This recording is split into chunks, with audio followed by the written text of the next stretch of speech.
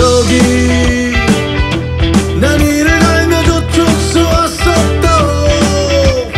그래 꽤 버티다가 여기서 돌아갔어. 너를 만나서 내 모습 찾고 비싸 보이는 동네로 간다. 너를 만나서